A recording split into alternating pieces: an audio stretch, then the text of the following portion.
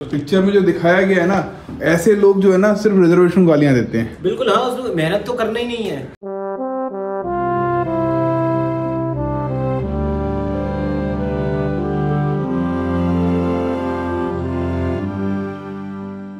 Mobile चलाती हुई आ रही है? क्यों? आए ना आपकी सैंडविच मैं खाऊँगा। कैसी सैंडविच नहीं करो सुने क्यों? सूखी सी है तो। सूखी जाएगी पाँच घंटे छः घंटे में। एक और स्टार स्टार बन जाना आप स्टार ले लेगी। अरे ये क्या लिखा है? ये जय भीम। जय भीम। ठंड में तो ये होता है ना कि आप कपड़े पहन लो और काम खत्म ठंड लगना बंद। लेकिन गर्मी में क्या करें यार? वेलकम टू माय माइक्रोवेव याद है ना आपको? ये मेरा माइक्रोवेव है। इस इसका डिज़ाइन भी बिल्कुल माइक्रोवेव की तरह है पूरा रेक्टेंगल है ये। और ये पूरी चारों तरफ़ से प्रॉपर तरीके से ना धूप से गर्माता है।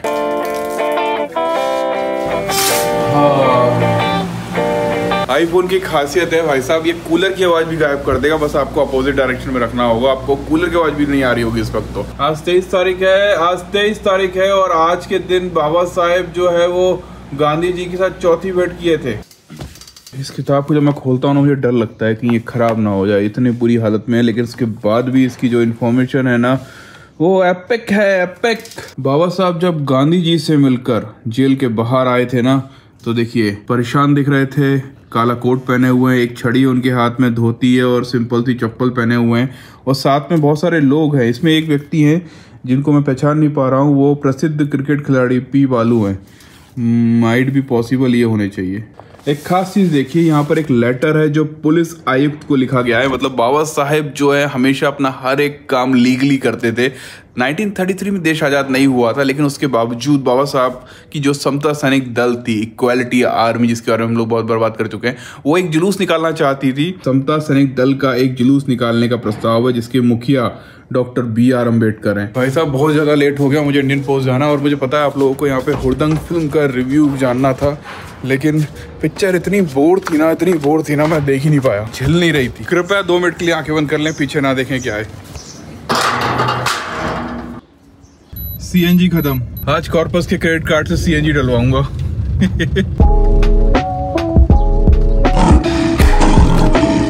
अंजुल भाई लो, लो, भाई। ये मैं आपके लिए लाया हूँ। थैंक यू थैंक यू मैं नहीं पीऊँगा लेकिन। क्यों? ये लस्सी पी रहा हूँ ना जब से।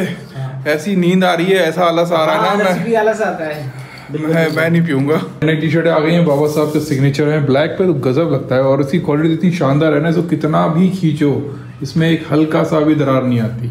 सबसे खास बात ये है। हमने मतलब इतने टाइम से सिर्फ़ इसी चीज़ पे रिसर्च कर रहे थे कि हमारी जो टी शर्ट की क्वालिटी है ना वो कम से कम एक साल से ज़्यादा चलना चाहिए। कम से कम। और मुझे लगता है ये टी शर्ट जैसी है ना तीन साल से ज़्यादा चलेगा। बिल्कुल। कुछ नहीं बिगड़ेगा। ये खींचना जरा इसको। ये देखो बिल्कुल ऐसा लग ही नहीं रहा कि इसमें प्रिंट ऐसा लग रहा है कि कॉटन के कपड़े के अंदर अंदर है ना बैठ गया गया। कलर बैठ गया है। बिल्कुल बिल्कुल। ये टी शर्ट जो है ना ये बाबा साहेब और बुद्ध को एक साथ रिप्रेजेंट करती है बुद्ध की आकृति है यहाँ पर और बाबा साहब के थॉट्स हैं organised agitated believe in liberty white colour पे तो कुछ अलग ही लगता है यार ये सिग्नेचर ये साइन जिसने लाखों लोगों की ज़िंदगी बदल दी। और दीवाना बना दिया। नहीं मुझे सच में बहुत गर्व सा फील होता है कि यार मैं इस तरह की टी शर्टें बनाकर लोगों तक पहुँचा रहा हूँ। वो भी ऐसी वैसी नहीं बहुत हाई क्वालिटी टी शर्ट बिल्कुल। अगर आप लोगों को चाहिए तो तथागत डॉट लाइव पर जाइए वहाँ टी शर्ट की पूरी लिस्ट है और हम बहुत सारे नए टी शर्ट लेके आने वाले हैं और आपको पता है ना हमारे अलावा ये काम और कोई नहीं कर रहा है। स्टोरी में तो कुछ मज़ा नहीं आया स्टोरी के सिर पैर नहीं थे किस तरफ़ जा रही थी कुछ समझ में नहीं आ रहा। ना ना ना इसका नहीं देखूँगा मैं। ये एक नंबर का फर्जी इंसान है। तो हेलो गाइस आज मैं बताने वाला हूँ आपको एक मूवी के बारे में जो कि जानकर आपको काफ़ी हँसी भी आएगी। उस मूवी का नाम है हुड़दंग मेरा एक दोस्त देखने गया था। बता रहा है थिएटर में मात्र दो लोग थे। एक मेरा दोस्त था और एक कपल थे। तो मेरा दोस्त बोला क्या यार एकदम मूवी में कुछ दम ही नहीं था यार। और वो जो कपल का जो हुड़दंग चल रहा था वो तो अलग बात है। तो इस फ़िल्म का रिव्यू करने का मन ही नहीं कर रहा यार। पिक्चर में है ना एक हीरो दिखाया गया है जो मतलब हर तरह की अयाशी करता है। सिगरेट पीता है दारू पीता है चरस गांजा डांस मारकूट गुंडा गुंडागर्दी बंदूकें वो पता नहीं क्या कुछ नहीं करता है। और वो साथ ही साथ आई की एग्ज़ाम भी दे रहा होता है। और आखिरी में जब वो आई नहीं बन पाता है तो वो वो ठीकरा जो है ना रिजर्वेशन पे फोड़ देता है कि रिजर्वेशन की वजह से वो आई नहीं बन पाया। देखी पिक्चर आपने? बिल्कुल। कैसी लगी? घटिया। मतलब दो घंटे की मूवी में बोर हो गया। और मूवी में ये यही दिखाया गया कि कुछ था ही नहीं मूवी में। कोई टॉप से भटकी मूवी लगी मुझे पूरी। उसमें जो आई की तैयारी कर रहा होता है और उसको पता पड़ जाता है कि कोई मंडल कमीशन है और इसकी वजह से आरक्षण हम बटेगा और हम लोगों को कुछ सीट मिलेगी तो नहीं। आपको लगता है आई की जो तैयारी करते हैं आपने ऐसे लोग कभी मिले हो लग देखने कि वो लड़की बाजी हॉस्टल में लड़की आ रही है। और बाकायदा सब कुछ चल रहा है और फिर उसके बाद वो पिस्तौल पिस्तौल रहती है उस पर। नहीं तो आपको लगता है ऐसे लोग आई को भी बन पाते हैं? नहीं कभी नहीं बन सकते। मैंने देखा है हमारे आ, मेरे ससुर जी हैं उनके यहाँ पर एक लड़की थी जो आई की तैयारी कर रही थी। वो अभी एमपीपीएससी में सेलेक्ट भी हुई है और शायद शायद मुझे पक्का नहीं पता लेकिन डिप्टी कलेक्टर है वो। बोलते हैं वो 24 घंटे में से ना 14 घंटे पढ़ती थी।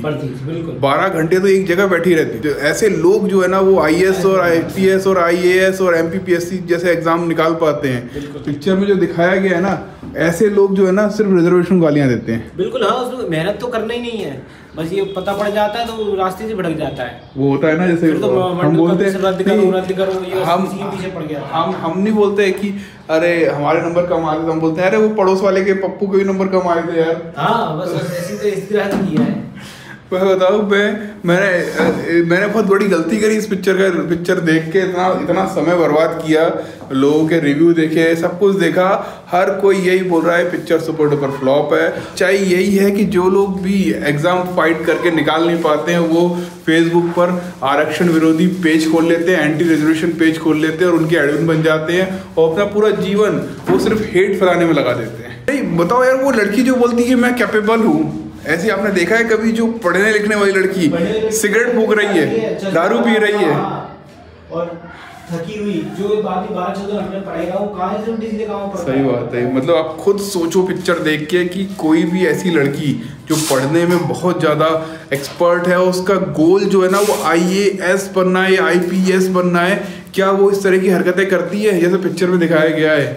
और जो करती हैं मुझे लगता है कि वो I S I P S तो नहीं बन पाती होंगी। क्या बोलते हो? कमेंट करके बताइए। इतने छोटे से अंडे से इतने बड़े कबूतर निकल आते हैं। पता ही नहीं चलता। हाथों में आपने कलम दी। भगवान ने ठुकराया, फिर भी आपने हमको शरण दी। हम भूल नहीं पाएँगे कि हम पानी के लिए तरसे थे। महान सत्याग्रह कर दिया बाबा सावन जैसे बरसे थे। सत्व आप शिल्पकार अब स्वतंत्र भारत का विचार अब संविधान के हो विधाता जो हक दे सबको एक समान और सम्मान यही बात थी जो आप धर्म को भी ठुकरा गए थे। कर्म से अपना नाम बनाया सबके दिलों पे छा गए थे और आज भी हो सबके दिलों में जो अन्याय के खिलाफ हो। न्याय करते हो आज भी बाबा पीड़ितों का इलाज हो। अब पीड़ितों का इलाज शानदार यार शानदार लगा गाना यार मुझे तो। उड़ रहे हो? ये देखो ये इसका सपना है। मैं भी पर्सनली हो गई हूँ अब। कार्ड कार्ड भर रखे दिखावट नहीं है ये चलते भी हैं। अच्छा सीएनजी डला दिया सीएनजी खत्म हो गई। चलो चलो। तेरे को मैं आपकी गाड़ी का टैंक नहीं है मैं गाड़ी फुल कर देती हूँ सीएनजी की चलो। अच्छा। सारे